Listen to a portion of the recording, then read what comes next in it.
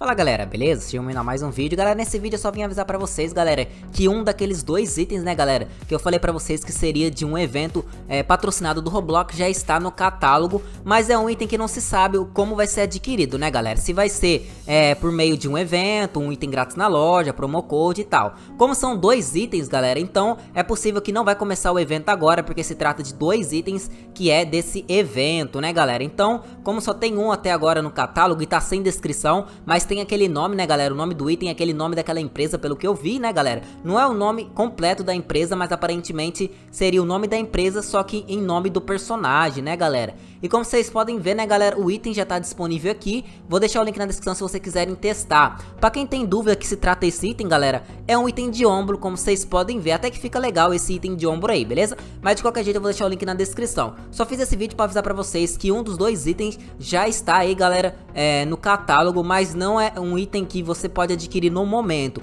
e não sabe como vai ser adquirido, tá bom? Mas é só um vídeo pra avisar pra vocês que aparentemente o evento tá bem perto de começar. É, evento assim, eu falo evento, né, galera? Porque é uma parceria, não se sabe do jeito que vai conseguir esse item, né, galera? Mas, de qualquer jeito, é só um vídeo aviso pra vocês, beleza? Se você gostou desse vídeo, deixa o like, se inscreva no canal e nós vemos então no próximo vídeo.